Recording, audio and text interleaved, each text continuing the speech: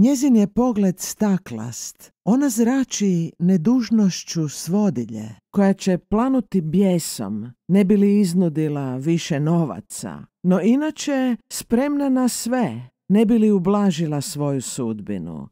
Spremna predati Žorža ili piše Gruja, kad bi još postojali kakav Žorž ili piše Gru, koje bi se moglo izručiti.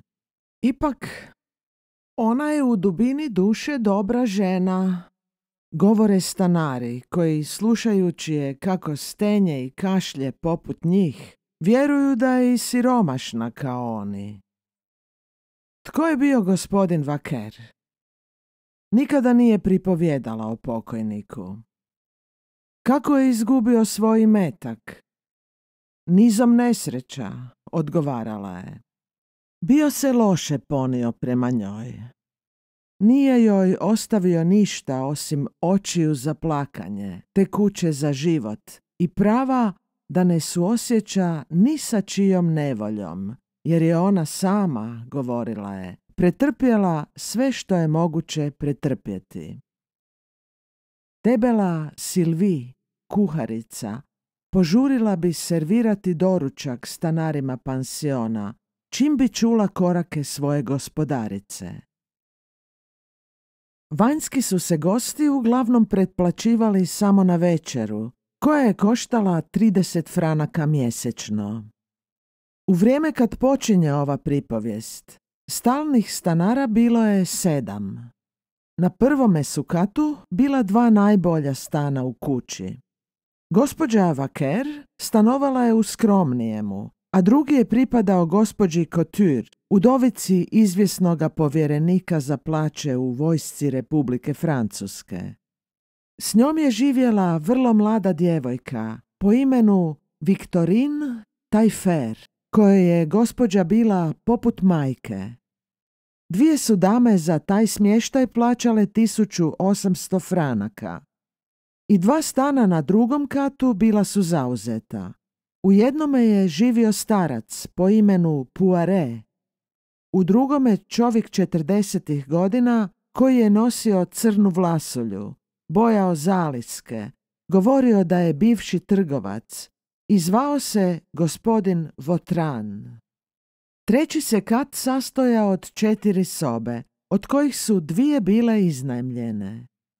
U jednoj je živjela usidjelica zvana gospođica Mišonu, a u drugoj negdašnji proizvođač rezanaca, talijanske tjestenine i škroba, koji je dopuštao da ga zovu Čiča Gorio. Preostale dvije sobe bijahu namijenjene pticama selicama, onim nesretnim studentima koji, poput Čiče Gorioa i gospođice Mišonu, nisu mogli izdvojiti više od 45 franaka mjesečno za smještaj i hranu. No, gospođa Vaker nije baš čeznula za takvima, te ih je primala samo kad ne bi našla ništa bolje. Jeli su previše kruha. U ovom trenutku jedna od tih soba pripadala je mladome čovjeku koji je iz okolice Ongulema stigao u Pariz kako bi studirao pravo i čija je brojna obitelj podnosila teška odricanja kako bi njemu mogla slati 1200 franaka godišnje. Ežen de Rastinjak, kako mu je bilo ime, bio je jedan od onih mladića koje je neimaština navikla na rad, koji već u djetinstvu svačaju nade što ih njihovi roditelji polažu u njih te pripremaju sebi lijepu budućnost, već u toj dobi razmišljajući o važnosti svojih nauka i prilagođavajući ih unaprijed kretanjima društva kako bi bili prvi koji će ih iskoristiti. Bez njegovih znatiželjnih zapažanja i vještine kojom se zna uvući u pariške salone, ovoj bi pripovijesti nedostajale boje stvarnosti koje će joj nedvojbeno dati njegova oštroumnost i želja da pronikne zagonetku jedne strašne situacije, koju su jednako brižljivo skrivali oni koji su je stvorili, kao i oni koji su je podnosili. Iznad tog trećeg kata nalazio se tavan na kojemu se moglo sušiti rublje, te dvije potkrovne sobe u kojima su spavali sluga Kristof i debela Silvi, kuharica. Osim sedam stalnih stanara, gospođa Vaker imala je svake godine osam studenata prava ili medicine, te dvoje ili troje stalnih gostiju, koji su živjeli u toj četvrti, pretplaćeni samo na večeru. U blagovaonici je večeralo osamnaest osoba, a mogla je primiti dvadesetak, no ujutro tu bi se našlo samo sedam stanara, koji su za vrijeme doručka izgledali poput obitelji koja se našla za stolom. Svi su silazili u papučama, dopuštali sebi povjerljive primjedbe o odjevanju i izgledu vanjskih gostiju ili o događajima prethodne večeri, izražavajući se s povjerenjem ljudi koji su međusobno prisni. Tih sedam stanara bijahu razmažena djeca gospođe Vaker, koja im je s astronomskom preciznošću odmjeravala usluge i pažnje prema iznosu koji su joj plaćali. Na isti je način procjenjivala ta bića, što ih je okupio slučaj.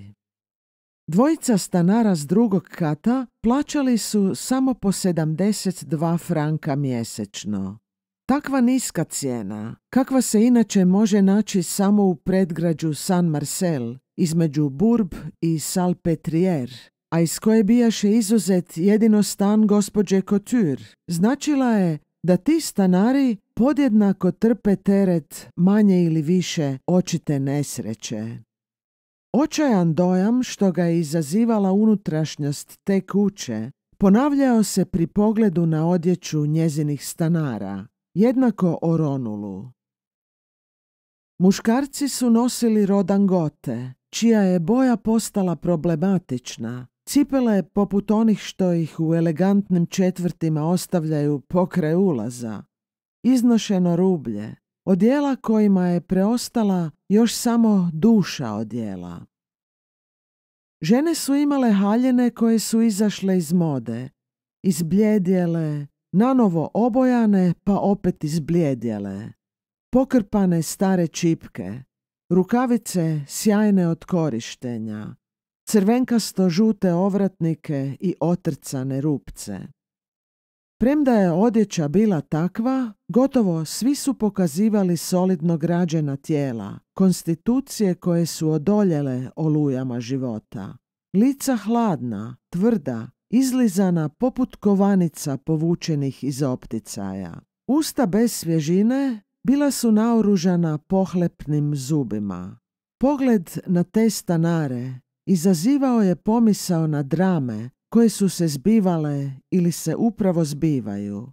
Ne one drame koje se igraju u svjetlosti pozornice ispred obojanog platna, nego žive i njeme drame, hladne drame koje vrelo pokreću srca, drame bez kraja. Stara gospođica Mišonu nosila je nad svojim umornim očima prljav štitnik od zelene svile obrubljene žicom od žute mjedi, koji bi poplašio i anđela milosrđa.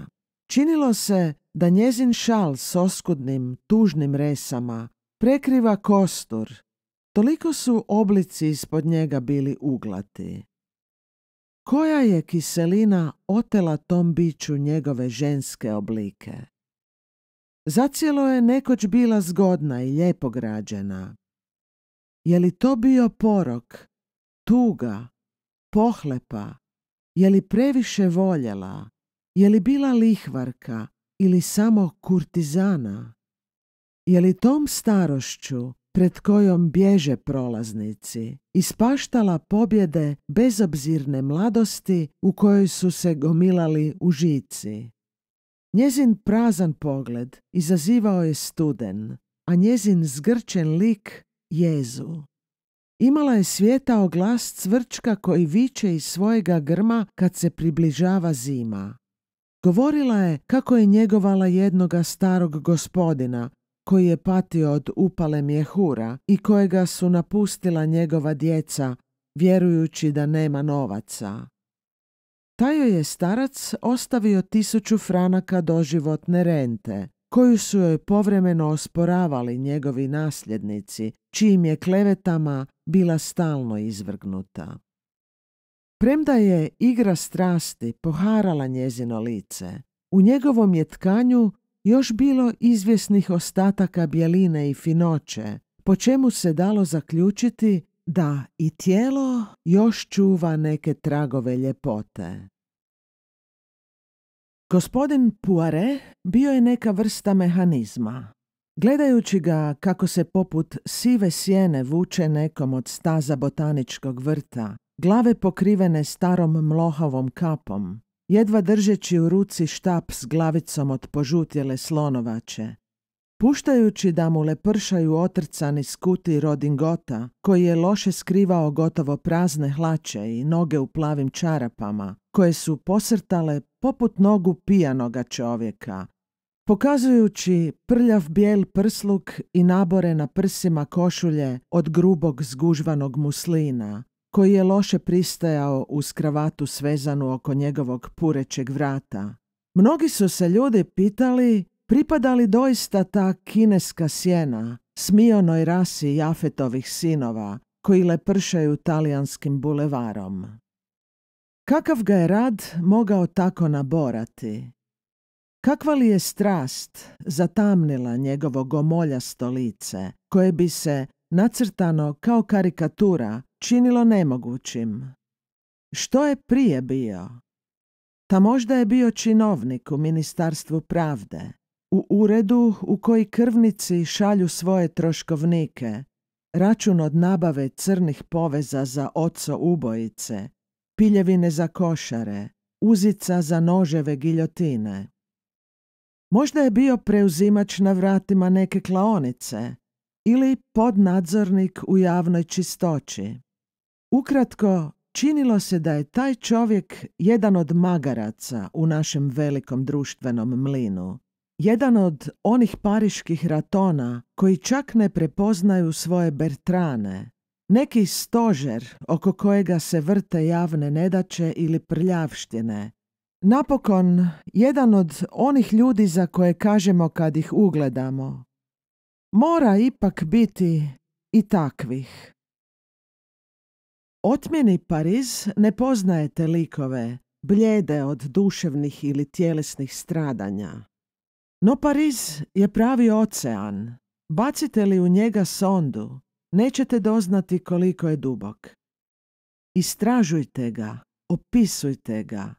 Koliki god trud uložili u to istraživanje, u to opisivanje i koliko god brojni i revni bili istraživači toga mora, uvijek će se naći neko netaknuto mjesto, nepoznato skrovište, cvijeće, biserje, čudovišta, nešto nečuveno, što su književni ronioci zaboravili.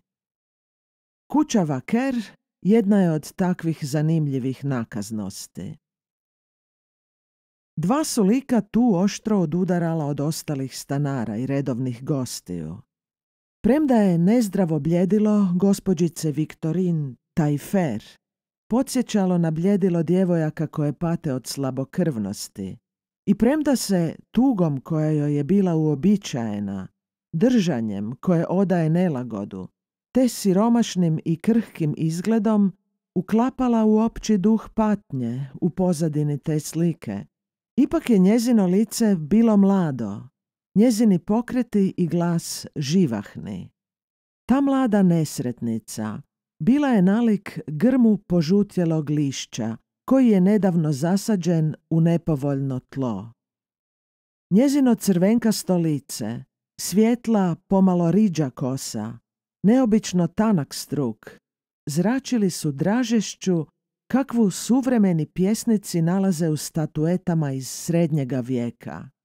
Njezine sive oči, prošarane crnim, izražavale su kršćansku blagost i pomirenost sa sudbinom. Njezine jednostavne, jeftine haljine odavale su mladenačke oblike. Bila je lijepa u usporedbi s onim što ju je okruživalo. Da je bila sretna, bila bi prekrasna. Sreća je poezija žene, kao što su haljine njihov ukras. Da je radost plesa obasjala to bljedo lice ružičastim tonovima, da su užici otmjenoga života ispunili, zarumenili te već pomalo upale obraze, da je ljubav oživjela te tužne oči, Viktorin bi se mogla mjeriti s najljepšim djevojkama. Nedostajalo joj je ono što ženu drugi put čini ženom, haljine i ljubavna pisma. Njezina prošlost ispunila bi cijelu knjigu. Otac joj je vjerovao da ima razloga ne priznati je za svoje dijete.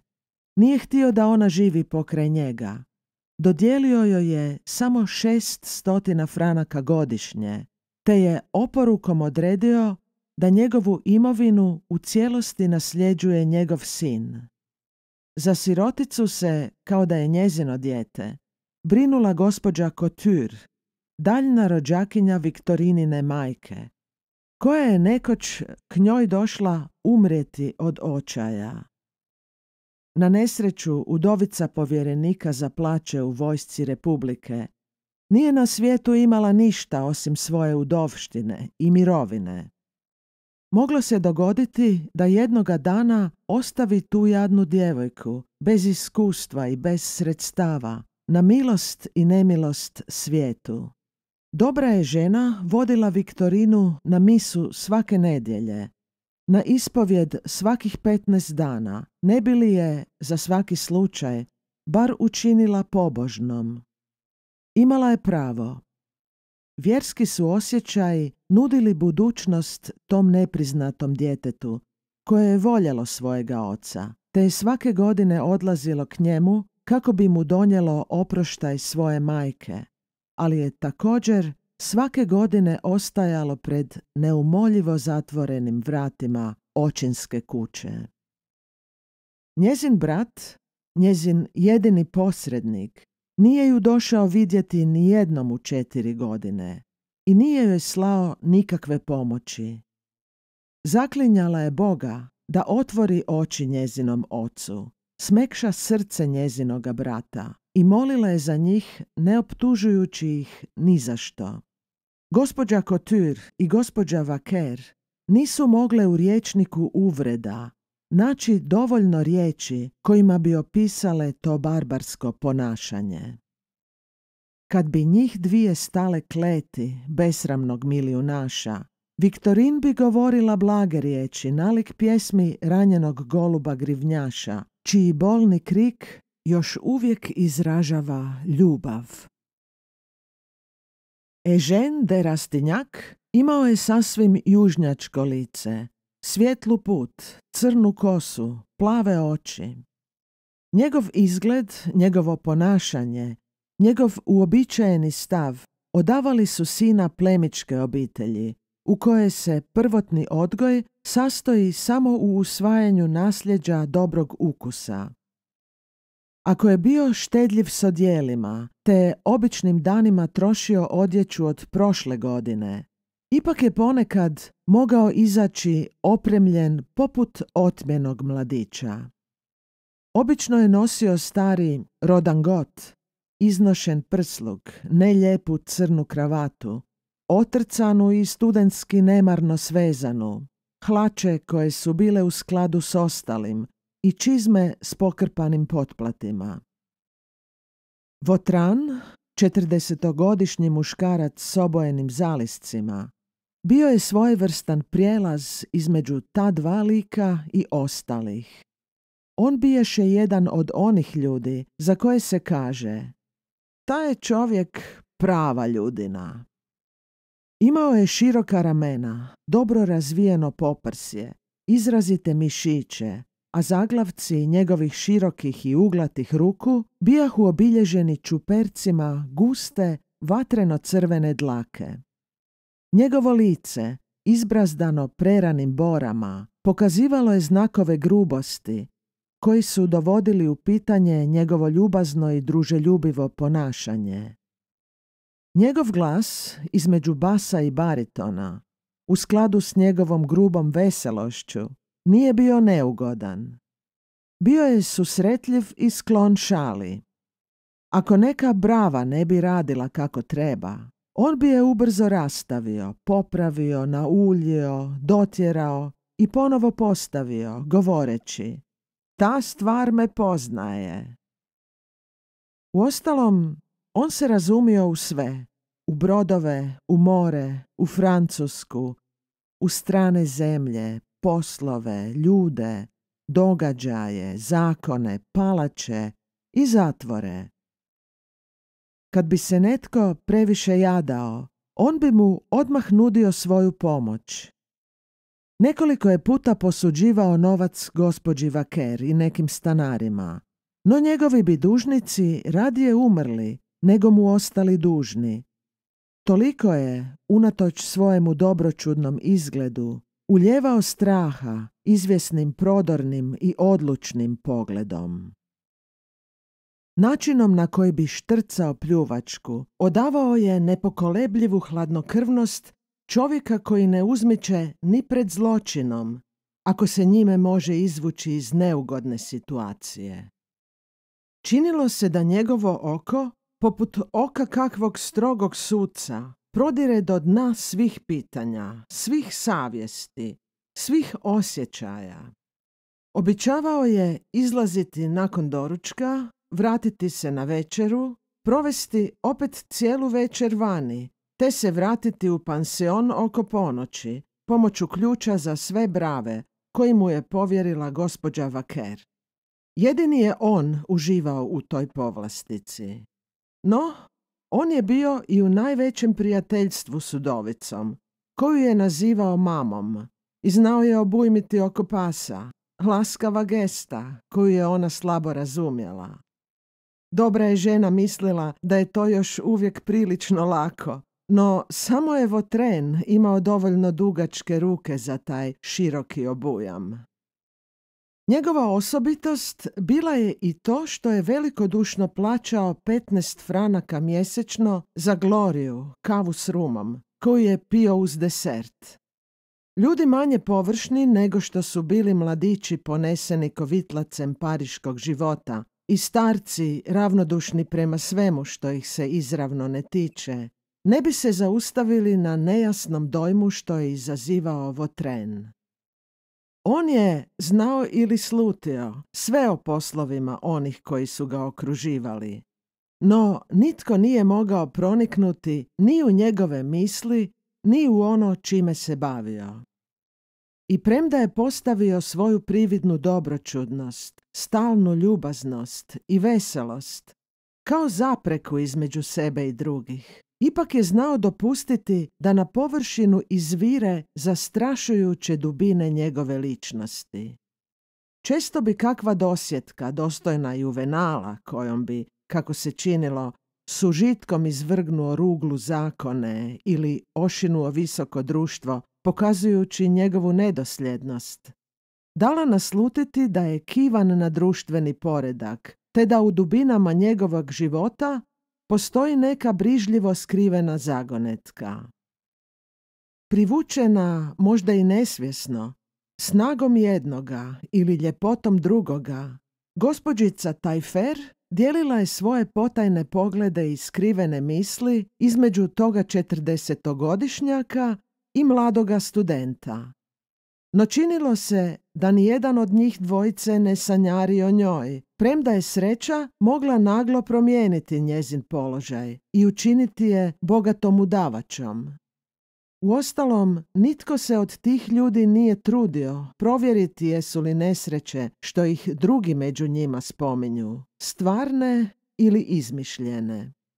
Svi su jedni prema drugima osjećali tek ravnodušnost pomješanu s oprezom, posljedicom njihovih osobnih životnih priča.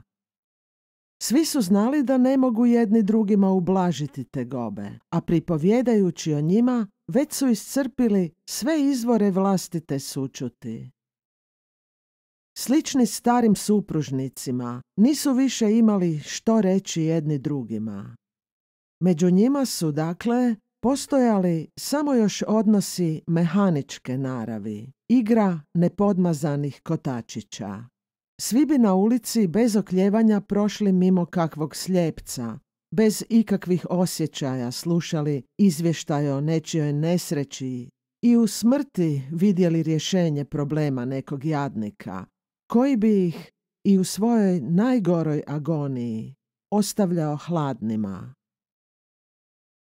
Najsretnija među tim opustošenim dušama bila je gospođa Vaker, koja je vladala tom svima otvorenom ubožnicom. Samo je njoj taj mali vrt, što su ga tišina i hladnoća, vlaga i suša, činili prostranim poput stepe, bio radostan lug. Samo je za nju ta žuta, sumorna kuća, koja je odisala patinom tezge, skrivala užitke. Njoj su pripadale čelije u toj kući. Ona je hranila te stečene zatvorenike, osuđene na doživotnu kaznu, obnašajući nad njima vlast koja se poštivala. Gdje bi u Parizu ta jadna bića, po cijeni po kojoj im je ona to davala, našla zdravu hranu u zadovoljavajućoj količini i prostor koji su po svojoj volji mogli učiniti, ako već ne elegantnim ni osobito udobnim, a onda bar čistim i zdravim.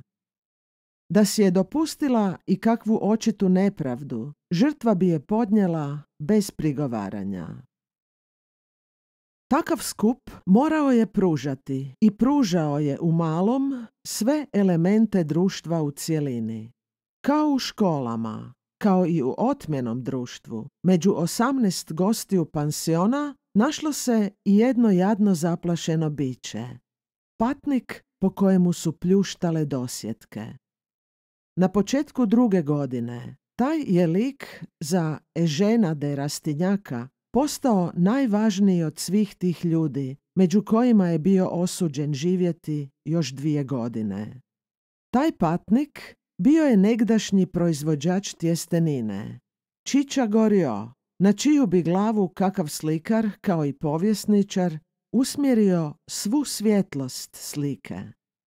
Kakvim je slučajem baš najstarijeg stanara pogodio taj prezir, napola ispunjen mržnjom, to mučenje, pomješano sa sažaljenjem, to nepoštovanje nesreće, je li im dao povoda nekom od onih smiješnih osobina ili čudačkih postupaka koji se opraštaju teže nego poroci?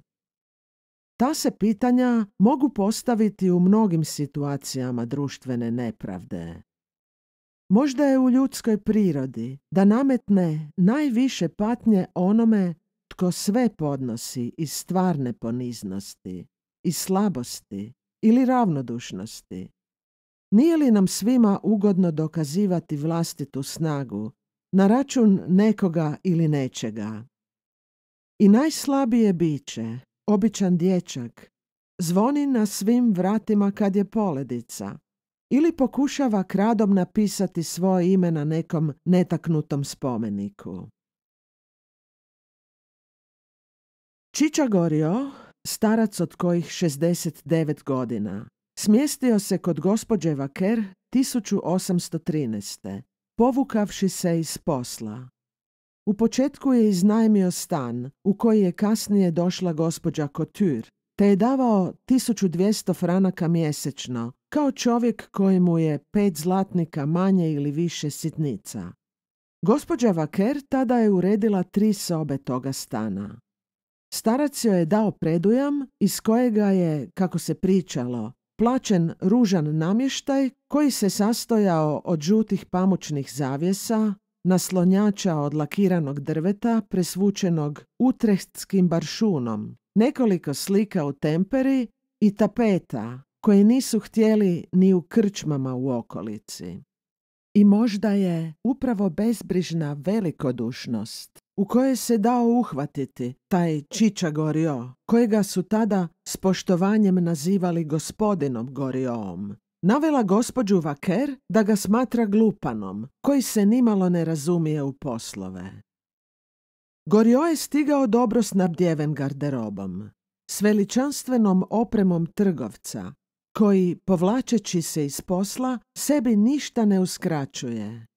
Gospođa Vaker osjećala je divljenje pred njegovih osamnaest košulja od poluholandskog platna, čija se finoća još više zamjećivala, jer je proizvođač tjestenine na čipki na prsima nosio dvije lančićem spojene igle, a u svaku je iglu bio umetnut velik dijamant, obično u svjetlo plavom odjelu.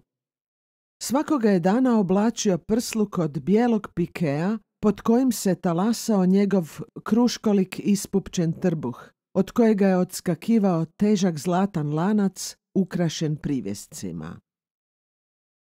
U njegovoj burmutici, također zlatnoj, bio je medaljon pun kose, koji je mogao značiti da je imao izvjesnog uspjeha u ljubavi. Kad ga je gazdarica optužila da je gizdelin, pustio je da mu licem zatitra veseli osmijeh gazde koji je čuo kako netko hvali njegovu malu strast. Njegovi ormani, izgovarao je tu riječ kao običan puk, bijahu ispunjeni brojnom srebrninom iz njegovog prijašnjeg kućanstva. Udovičine su oči zasjale, dok mu je ljubazno pomagala da raspakira i složi za imače, žlice za ragu, pribor za jelo, posudice za ulje i ocat, zdjelice za umak, nekoliko pladnjeva, poslužavnike od pozlačena srebra. Ukratko, manje ili više lijepe predmete koji su težili izvjestan broj maraka i kojih se on nije želio odreći. Ti darovi podsjećali su ga na svečanosti njegovog kućnog života. Ovo je, rekao je gospođi Vaker, stišćući pladanje zdjelicu čiji je poklopac predstavljao dvije grlice koje se ljube. Prvi dar koji mi je dala moja žena na našu godišnjicu. Dobra sirotica. Na to je potrošila sve što je bila uštedjela kao djevojka. Vidite, gospođo, ja bih radije noktima strugao zemlju, nego da se odreknem tih stvari. No, hvala Bogu, moći ću piti kavu iz te šalice svakoga jutra, sve do kraja svojih dana. Nisam ja nikakav jadnik. Imam dobre zalihe, za puno vremena. Uostalom, gospođa je Vaker svojim svraćim okom u velikoj knjizi dobro vidjela neke uloge koji bi, približno zbrojeni, mogli tom sjajnome Goriovu donositi rentu od kojih 8 do 10 tisuća franaka. Od toga dana gospođa Vaker, rođena Dekonflan, koja je tada imala stvarnih 48 godina, a prihvaćala samo 39, počela je sanjariti. I premda su Goriove suzne vrećice bile izvrnute, natečene i ovješene, zbog čega je morao prilično često brisati oči, gospođa je ipak smatrala da je on čovjek pristojnog i ugodnog izgleda.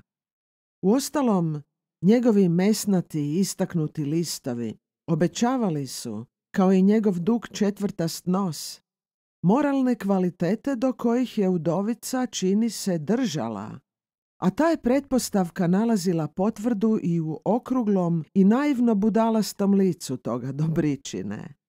On zacijelo bijaše solidno građena životinja, sposobna potrošiti sav svoj duh na osjećaje. Njegova kosa s razdjeljkom koji je frizer iz politehničke škole dolazio napudrati svakoga jutra, ocrtavala je pet vršaka nad njegovim niskim čelom, te je bila lijep okvir licu. Premda pomalo priprost, bio je toliko uredno odjeven. Uzimao je duhan toliko obilno i udisao ga kao čovjek siguran da će njegova burmutica uvijek biti puna duhana s Martinika. Da je gospođa Vaker, onoga dana kad se Gorio doselio k njoj, navečer legla u postelju pekući se, poput slaninom obložene prepelice, na vatri žudnje koja ju je spopala da odbaci vakerovu dovički veo, ne bi li se ponovno rodila kao gospođa Gorio. Udati se, prodati pansion, pridružiti se onome divnom cvijetu buržuazije, postati ugledna gospođa u svojoj četvrti, skupljati priloge za siromašne, odlaziti na male izlete nedjeljom, u šuazi, soisi, žontiji, odlaziti u kazalište po svojoj volji, sjediti u loži, ne čekajući autorske ulaznice, kakve su joj davali neki od njezinih stanara u mjesecu srpnju. Sanjala je cijeli Eldorado malih pariških brakova. Nije još nikome otkrila da ima 40 tisuća franaka, što ih je skupila novčić po novčić. I vjerovala je da se, što se tiče imovine, može smatrati pristojnom partijom. A što se tiče ostaloga, ja sam vrijedna toga starčića. Govorila je okrećući se u postelji kao da želi samoj sebi potvrditi dražesti što ih je debela Silvija svakog jutra nalazila utegnute. Od toga dana, kroz otprilike tri mjeseca, udovica Eva Ker koristila usluge frizera gospodina Gorioa, a ponešto je uložila i u odjeću, sasvim opravdano, jer je bilo nužno dati kući izvestan ugled, u skladu s dostojanstvom ljudi koji u nju dolaze. Jako se trudila promijeniti stav svojih stanara, šireći glas da više ne namjerava primati ljude koji nisu otmjeni u svakom smislu. Kad bi se pojavio netko nov, hvalila se povjerenjem što je ga je ukazao gospodin Gorio, jedan od najznačajnijih i najcjenjenijih trgovaca u Parizu. Dijelila je oglase na kojima se u zaglavlju moglo pročitati Kuća Vaker. Ovo je, napisala je gospođa, jedan od najstarijih i najuglednijih građanskih pansiona u latinskim zemljama. Odavde se pruža jedan od najljepših pogleda na dolinu Goblana. Vidjelo se s trećega kata. A postoji krasan vrt na kraju kojega se proteže aleja lipa. Spominjala je i dobar zrak i osamu. Tajo je oglas doveo gospođu Groficu od Amber Menila, ženu od 36 godina, koja je čekala kraj obračuna i početak isplate penzije na koju je imala pravo kao udovica nekog generala koji je umro na bojnim poljima. Gospođa je Vaker njegovala ponudu na svojemu stolu i ložila u salonima kroz gotovo šest mjeseci. I toliko je dobro izvršavala obećanja svojega oglasa, da je ponešto i uložila. A grofica je govorila gospođi Vaker, nazivajući je dragom prijateljicom, da će joj dovesti i barunicu od Vomerlonda i udovicu pukovnika grofa Pikazoa, svoje dvije prijateljice, kojima će uskoro isteći plaćeno tromjesečje u Marou, u nekom pansionu koji je skuplji od kuće Vaker. Te bi dame u ostalom bile vrlo dobro zbrinute kad bi ratni uredi dovršili svoj posao. No, govorila je grofica, ti uredi nikad ništa ne dovode kraju.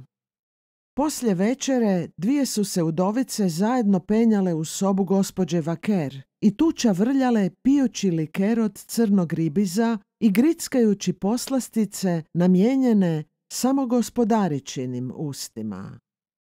Gospođa od Amber Menila zdušno je odobravala planove svoje gazdarice u vezi s Goriom, njezine odlične namjere koje je, uostalom, naslutila već prvoga dana. Njega je smatrala savršenim čovjekom. Ah, draga gospođo, čovjek zdrav kao moje oko, govorila joj je udovica. Muškarac savršeno uščuvan, koji može priuštiti ženi još puno veselja. Grofica je plemenito iznijela gospođi Vaker neke primjedbe u vezi s njezinim odjevanjem, koje nije bilo u skladu s njezinim nadama. Morate uvesti ratno stanje, rekla joj je. Nakon puno računanja, dvije su se udovice zajedno uputile u Palais Royal, gdje su u drvenoj galeriji kupile šešir s perjem i kapu. Grofica je zatim odvukla svoju prijateljicu u trgovinu Mala Žanet, gdje su izabrale haljinu i šal. Kad je ta oprema nabavljena i kad je udovica bila pod punom spremom, savršeno je sličila cimeru iznad restorana Bœuf à la mode. Njoj se ipak činilo da se toliko promijenila na bolje da se osjećala dužnom prema grofici, te ju je, premda inače nije ništa rado darivala, zamolila da primi na dar šešir od 20 franaka. Istinu govoreći, namjeravala je zamoliti groficu da joj učini uslugu, ispita Goriove osjećaje i pohvali je pred njim. Gospođa od Ambermenila vrlo je prijateljski pristala na tu lukavštinu, te je stala opsjedati starog proizvođača tjestenine, dok nije uspjela ugovoriti sastanak s njim. No kad se on pokazao stidljivim, da ne kažemo nepokolebljivo otpornim na pokušaje nadahnute njezinom osobnom željom da ga zavede za svoj račun, izašla je ogorčena njegovom neotesanošću. Anđele moj, rekla je svojoj dragoj prijateljici, ništa nećete izvući od toga čovjeka. On je smiješno nepovjerljiv. On je škrtac, životinja, glupan, koji će vam priuštiti samo neugodnosti. Između gospodina Gorioa i gospođe od Ambermenila dogodile su se takve stvari da se grofica više nije željela nalaziti u njegovoj blizini. Sljedećeg je dana otišla, zaboravivši platiti stanarinu za šest mjeseci i ostavivši iznošene odjeće u vrijednosti od pet franaka. Koliko god se revno gospođa Vaker bacila u potragu za njom, nije u cijelome Parizu uspjela dobiti nikakve obavijesti o grofici od Ambermenila. Često je govorila o tom nemilom događaju, žaleći se na svoje pretjerano povjerenje, premda je bila nepovjerljivija od mačke. No, bila je slična brojnim ljudima koji su nepovjerljivi prema svojim bližnjima, a nasjedaju prvome pridošlici. Duševna činjenica, čudna no istinita, kojoj je lako naći korijen u ljudskom srcu. Neki ljudi možda više ništa ne mogu dobiti od osoba s kojima žive. Pokazali su im prazninu svojih duša, te osjećaju kako ih te osobe prosuđuju sa zasluženom strogošću. Oni se ipak, osjećajući nesavladivu potrebu za laskanjem, koji im nedostaje, ili pak razderani željom da izgledaju kao da imaju kvalitete koje nemaju. Nadaju da će izmamiti poštovanje ili osjećaje onih koji su im strani, makar im to jednoga dana donijelo nesreću. Napokon, ima i pojedinaca koji su rođeni plaćenici, te ne čine nikakva dobra svojim prijateljima ni svojim bližnjima, jer bi to i onako trebali činiti. No kad čine usluge neznancima, tada raste njihovo samoljublje.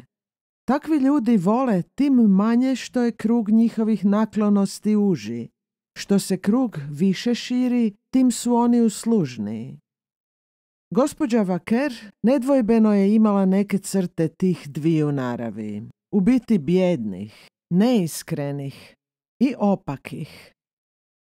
Da sam ja tada bio ovdje, govorio joj je Votren, ne bi vam se dogodila ta nesreća. Bio bih vam lijepo raskrinkao tu lakrdjašicu. Poznajem ja njihove njuške. Poput svih ograničenih duša, gospođa Vaker nije imala običaj izlaziti iz kruga događaja i razmišljati o njihovim uzrocima. Više je voljela na druge svaljivati krivnju zbog vlastitih pogrešaka. Kad je doživjela taj gubitak, našla je u poštenom tjesteninaru glavni uzrok svoje nesreće. I od tada se počela, kako je govorila, trijezniti s njim u vezi. Shvatila je da su njezina očiukanja i njezini pokušaji uljepšavanja beskorisni, a ubrzo je prozrela i razloge. Primijetila je tada da njezin stanar već ima, kako bi ona rekla, svoje običaje. Konačno se uvjerila da je njezina toliko slatko podgrijavana nada počivala na nestvarnim temeljima, te da nikada ništa neće izvući iz toga čovjeka. Kao što je energično izjavila grofica koja je očito bila stručnjak na tom području. I neizbježno je u svojoj odbojnosti otišla dalje nego što je bila otišla u svojemu prijateljstvu.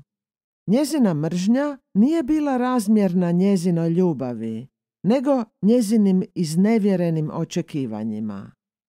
Ako se ljudsko srce ponekad i odmara uspinjući se strminama ljubavi, rijetko će se zaustaviti na skliskoj strmini pakosnih osjećaja. No, gospodin Gorio bio je njezin stanar, te je udovica stoga bila prinuđena potisnuti eksplozije povrijeđenoga samoljublja. Suspregnuti uzdahe što ih je izazivalo razočarenje i progutati svoju želju za osvetom, kao redovnik kojega je uvrijedio poglavar samostana. Sitne duše zadovoljavaju svoje osjećaje, dobre ili loše, neprestanim niskostima.